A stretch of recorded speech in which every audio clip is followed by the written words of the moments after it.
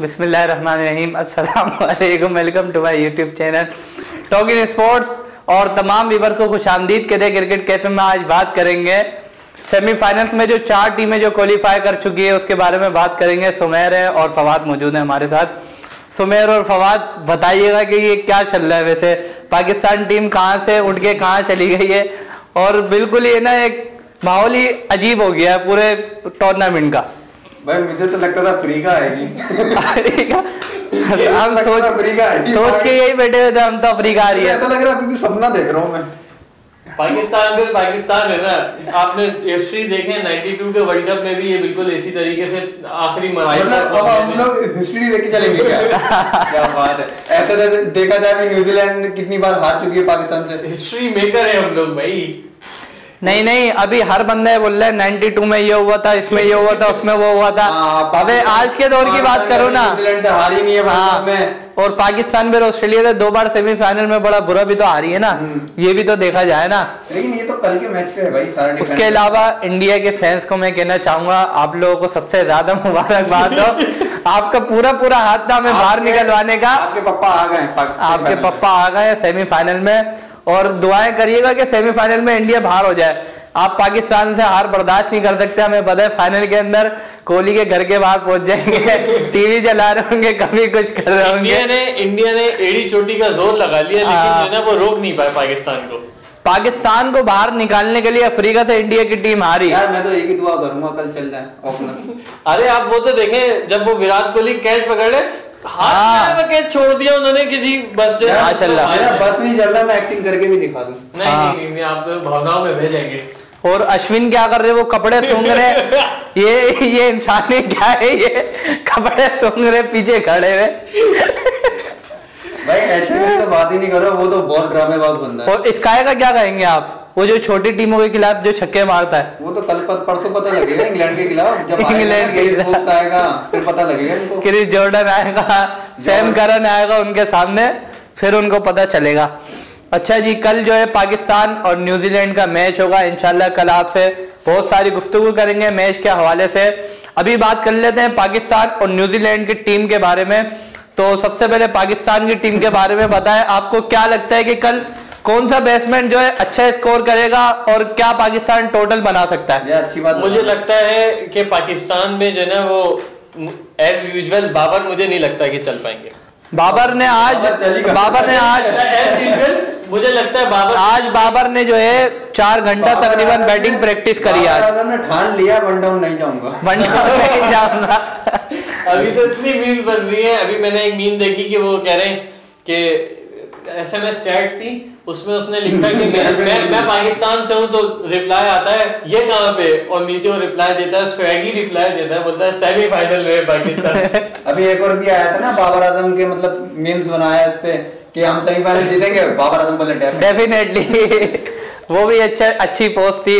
Pakistan team के बारे में बता। मुझे लगता है हारिस जो है वो अभी बेहतरीन फॉर्म है बेहतरीन परफॉर्म कर रहे हैं। ठीक है और इफ्तिखार भी बहुत अच्छा भाई चाचा की भाई ट्वीट आई है कि आपसे चाचा नहीं बोले चाचा नहीं बोले। इफ्तार अहमद भाई कहेंगे आपसे उन्हें। इफ्ती भाई कहेंगे आपसे हम उन्हें। भाई। इफ्ती भाई। तो मुझे ऐसा लगता है कि अगर अगर कल हारिस ने ओपन नहीं किया तो मैं कहता हूँ सबसे बड़ी बेवकूफ़ी होगी क्योंकि हर दस ओवर जो है स्टार्ट किए वो बाबर और रिजवान जाया किए जा रहे हैं। इंशाल्लाह देखिएगा कल अच्छा खेलने को मिलेगा। मुझे जो एक्सपेक्ट है कि मेरा जो स्कोर है वो तकरीबन मुझे 140 टू 145 लग रहा है।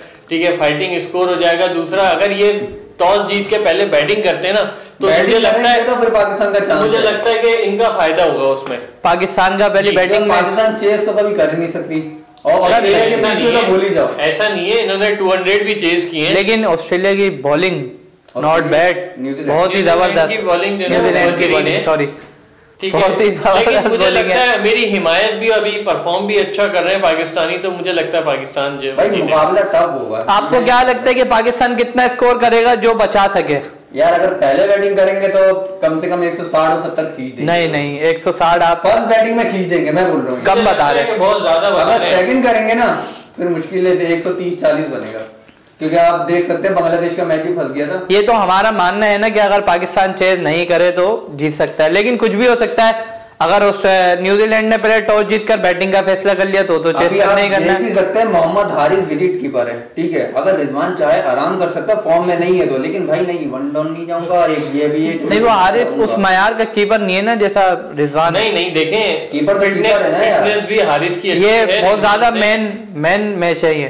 नहीं हारिस ने कम कीपिंग करी है इंटरनेशनल में तो करी नहीं आपकी बात ठीक है, लेकिन- इंटरनेशनल का उसको पता नहीं है ना वो प्रेशर कैसा होता है? देखिए देखें तो मोहतसिन इसमें यह है कि ज़्यादातर आप देखें कीपर को जो है ना वो चौकन्ना रहना पड़ता है। कीपर जितना कमज़ोर मतलब दुबला पतला होगा जितना फिट होगा ना उतना कीपर के लिए अच्छा है। कीपर एक्टिव होना चाहिए कीपर उसकी चाहिए। आँखें जो है चील की तरह काम तो करनी मुझे चाहिए। हारिस अच्छा करेगा। हारिस अगर कीपरिंग करे हारिस तो के अलावा अगर बात करें इफ्फी भाई की तो क्या कहेंगे? वो भी चलेगा। देखिए, शराब भी चलेगा। पूरे टूर्नामेंट में जो है ना वो इफ्तिखार ने अपना हंड्रेड परसेंट दिया है हर मैच में। अच्छा पूरा जो हमारा टूर्नामेंट जितने भी हो रहे हैं मैं देख रहा हूँ बॉलर जो है बॉलिंग भी वही कर रहे हैं और बैटिंग भी वही कर रहे हैं। जैसे अफ़गानिस्तान के अगेंस्ट एशिया कप में नसीम शाह ने छक्के मार दिए दो मैच लास्ट मैच हुआ ऑस्ट्रेलिया से अफ़गानिस्तान का उसमें भी राशिद खान चल गया।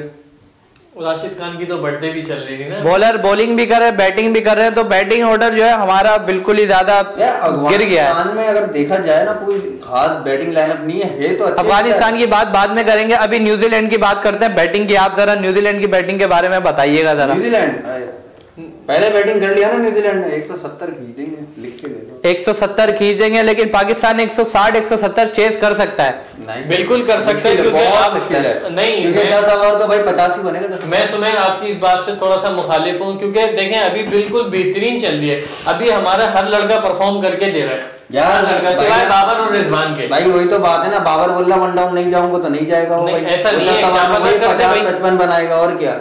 भाई आप चले आप बाबर और रिजवान को हटा ही देना ना। आप ये बात देख लो बांग्लादेश की बॉलिंग लाइनअप इतनी खास नहीं है। उसके बाद भी बाबर और रिजवान कितना डर के खेल रहे दस ओवर बाहर हो गई ना जीत गए ना।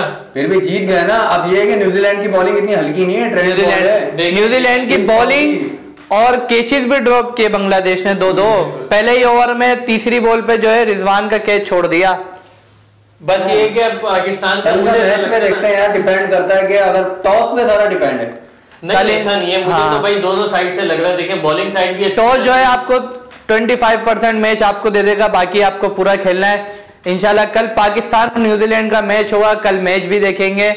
और अपडेट भी आपके साथ करते रहेंगे पूरे मैच की। तो अभी फ़िलहाल हमें इजाज़त दीजिएगा। खुदा हाफिज। अस्सलाम वालेकुम वरहमतुल्लाह।